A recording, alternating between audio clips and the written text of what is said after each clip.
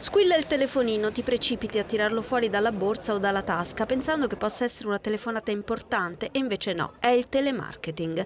La classica telefonata commerciale che tenta un approccio con il cliente che spesso e volentieri non ne vuole sapere. Adesso con l'approvazione del nuovo regolamento sul registro pubblico delle opposizioni, il servizio gratuito che consente ai cittadini di non ricevere chiamate per finalità commerciali su numeri di telefono di cui si è intestatari e che arriverà entro fine gennaio, queste telefonate finiranno finiranno o perlomeno diminuiranno in maniera consistente.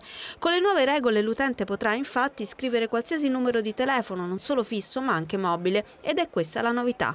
Ottenere il consenso è semplice visto che la richiesta è contenuta in molti dei moduli che bisogna compilare per l'accesso a vari servizi, dall'iscrizione in palestra all'attivazione di una carta punti di un supermercato. L'iscrizione al registro, secondo le nuove regole, cancellerà appunto tutti i consensi pregressi. Sarà anche possibile scrivere il numero più volte per eliminare autorizzazioni date inavvertitamente anche dopo l'iscrizione al registro. Resteranno possibili solo le telefonate da parte di quelle aziende con cui si ha un contatto attivo o con cui lo si aveva fino a 30 giorni prima di iscriversi al registro.